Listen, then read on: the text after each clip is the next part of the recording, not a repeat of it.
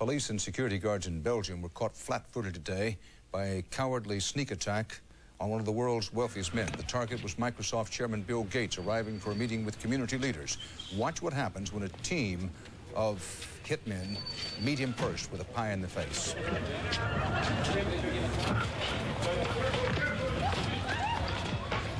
Gates was momentarily and understandably shaken, but he was not injured. The hit squad piled on with two more pies before one of them was wrestled to the ground and arrested. The others, for at least the moment, got away. Gates went inside, wiped his face clean, and made no comment. He then went ahead with his scheduled meeting. No word on the motive for this attack. William Henry Microsoft's Gates, flagship software runs more than 90% of the personal better known as. Bill Gates, ex-CEO, co founder of Microsoft, billionaire. Bernard Arnault, Jeff Bezos, Larry Ellison, billionaires. There was a list on Forbes that I recently discovered. Billionaire list showing the daily wins and losses of billionaires such as Bill Gates, whose vast wealth stands at 101 billion. Or let's take Elon Musk, billionaire, co-founder of Tesla and SpaceX, who recently just acquired Twitter for 44 billion. Uh, what could possibly go wrong? and Elon's net worth is worth 139 billion despite Tesla dropping 65% in 2022. Despite these losses, sitting at 139 billion along with Warren Buffett at 110 billion, the founder of Berkshire Hathaway is doing well. To say any billionaire is doing well obviously is an understatement, but why are these billionaires doing so well despite economic turmoil, recessions, and pandemics? Why is Jeff Bezos well over 108 billion dollars? That's really good. What I discovered was a billionaire list. The numbers were staggering. On this billionaire list, I found familiar names such as George Lucas, Star Wars owner, Jeffrey Lurie, Philadelphia Eagles owner, Marian Ilitch, Little Caesars, Pizza owner, billionaires. As I dug deeper into this billionaire list, I found that there are 728 billionaires, and they had seen their assets increase over 50% higher since March 18, 2020, the pandemic. These billionaires had seen their wealth increase 5.1 trillion. That's a gain of 2.1 trillion, more than 70% over pre-pandemic assets. And last May, it declined to 1.7 trillion. That's still up 50% since March 18, 2020. On March 18, 2020, Elon Musk had a value just under 25 billion. By May 2022, 255 billion. Jeff Bezos took a similar route as Elon, 113 billion all the way to 150 billion. But why is there such a huge gap in wealth inequality in America? And why is there 2,100 billionaires? Let's find out why.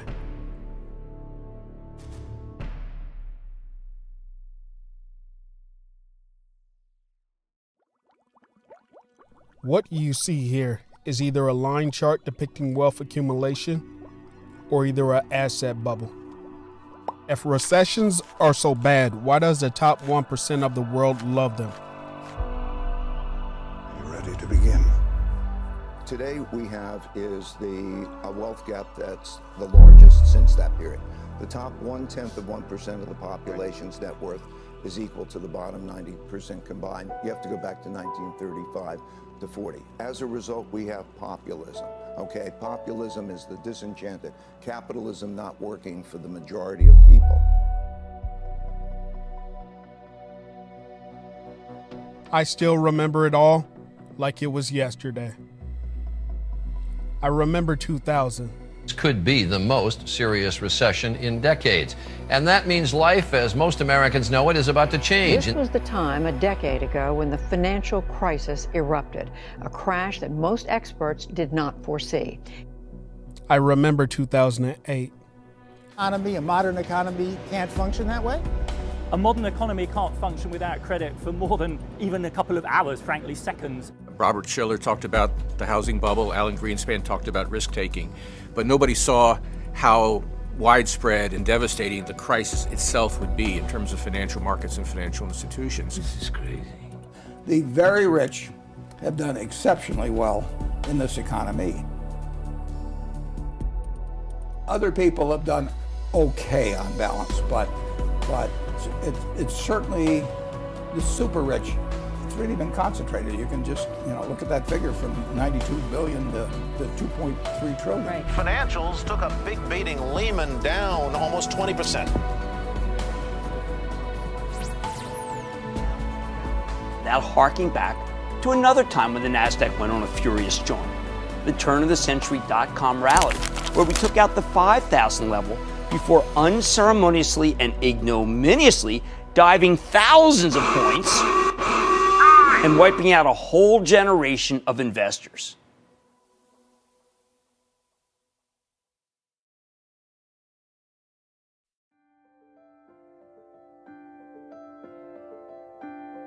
But this latest one felt different.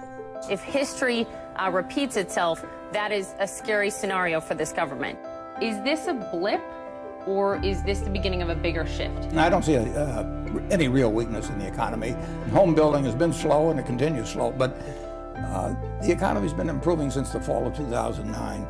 The coronavirus, as it was called at the time, had spread from China to the U.S. Our Janis Mackey Frayer is in Wuhan. In this city of 11 million people, there's obviously a lot of concern, and people are taking any precaution they can to keep safe. Tonight, combating a dangerous, mysterious virus now spreading across the globe. Tonight, the CDC says the infected passenger passed through busy SeaTac Airport in Seattle, the first confirmed U.S. case of the contagious coronavirus now in Washington state. The infected American never facing health screening after landing. Tonight, all passengers arriving from Wuhan will be funneled through five major U.S. airports where heightened health screenings will be in place. It could be a $10 billion hole for us or it could be a $200 billion hole, and there's no way we can risk that money without a backstop from Treasury or the Fed. This is a public spectacle now. No, it's a public execution. Wall Street got bailed out, and Main Street did. To unleash the full power of the federal government in this effort today, I am officially declaring a national emergency. I'm also asking every hospital in this country to activate its emergency preparedness plan so that they can meet the needs of Americans everywhere. The U.S. government would be suspending travel and enforcing lockdowns not only nationwide, but worldwide.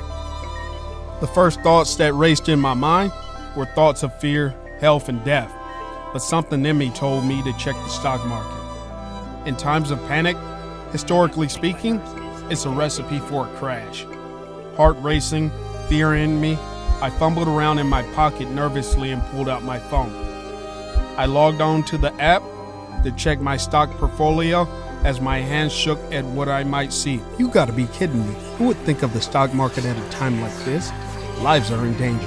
Mass chaos and panic is upon us. The decade-long bull market had came to a halt on March 11, 2020. Out of $2.8 trillion allocated in the last three packages, about $1.5 trillion has been dispersed. That's according to White House budget data provided to lawmakers and obtained by CNBC. Earlier today on CNBC, the Treasury Secretary said as that money starts to get into the economy over the next month, that should help until new aid is authorized. The NBC. That number will go up when the Fed's new lending programs get underway, but as of this week, programs like expanded unemployment insurance, FEMA disaster relief loans, the first wave of the COVID 19 pandemic swept the markets more than 20% from its current position, right into bear territory. I looked at my stock portfolio, it was in complete shambles, and I felt it was nothing I could do. But was that entirely true? There have been 14 bear markets for the S&P 500. Thoughts raced continuously in my head. How could I not have been better prepared for this all? You could have been better prepared. You could have studied more. You could have read more books. You could have watched more CNBC. But thanks to a recent dive into the world of option trading, I had enough insight to bet against the market by buying positions that went inversely against the market. Just like that, I was making money from the news of a pandemic. You're on a roll, kid. Enjoy it while it lasts, because it never does. Rolling in the dough. And you may be wondering, how can you make money off the stock market when it's going down? How and why would you bet against the stock market? Why would someone think of the stock market while a pandemic is even going on? The main thing about money, bud, it makes you do things you don't want to do. That's when it all began for me. I never wanted for this to happen ever again to me. To be caught off guard, the element of surprise would no longer master me.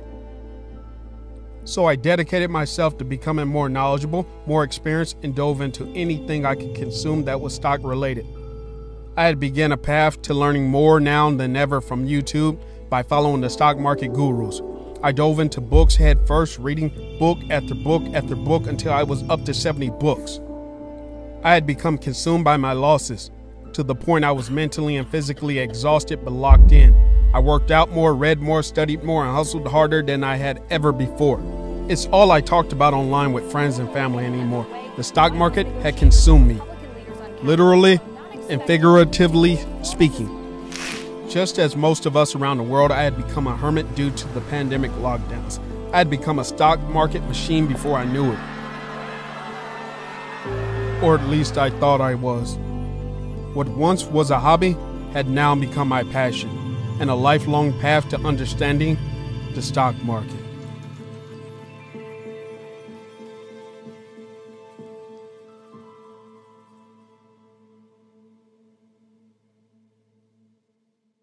Every season has its very own purpose. You're fired. Whether it's a job change, a move, death of a loved one, or other challenges and changes, the fact remains seasons are a reality of life. We are in the latest season of economic recession after well over a decade of economic expansion. I know you may have some concerns and thoughts. How do recessions begin? How long does a recession last? How do we survive recessions? How did I lose my job? Why does it have to be me? Those fantasies of retiring early, all down the drain. Those dreams of walking away like the stock gurus promised you, gone. Those dreams of buying the sports car, the mansion, the house on the lake, paying off your student loans, mortgages, and traveling around the world, all gone. Like old man winter, every year, your dreams of walking away, retiring early, have withered away.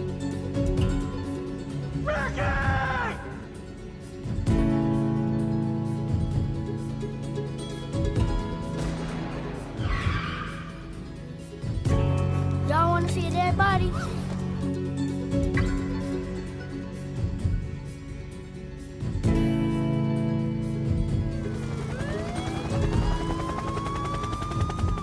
So you come to the conclusion that it's all one big Ponzi scheme. Harry, you gave me your word.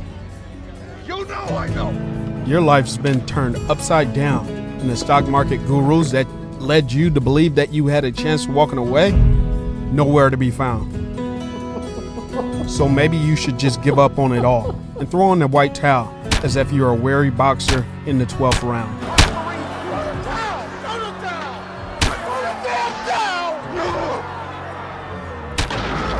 Maybe you don't have what it takes. Maybe society failed you.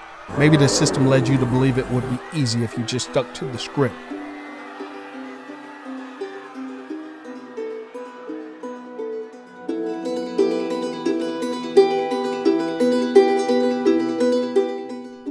But what if I told you that you didn't have to abandon your dreams and hopes? What if I told you that there was still a way for you to capitalize on it all? Would you trust me? If I told you that a recession was merely an opportunity, would you believe me? If I told you that a recession was a springboard into the life you deserve, would you continue? If I told you that a recession was further down the line, but this opportunity would set you up for life, would you continue down the road despite the bruising past of loss and failure? Whether you're an investor or a trader, you will face turbulence. You will face days where you just can't look at yourself in a mirror. But you want to know the truth of the matter? The how is never as important as the why. Recessions are nothing more, nothing less than just a cycle. The top one tenth of 1% of the population's net worth is equal to the bottom 90% combined.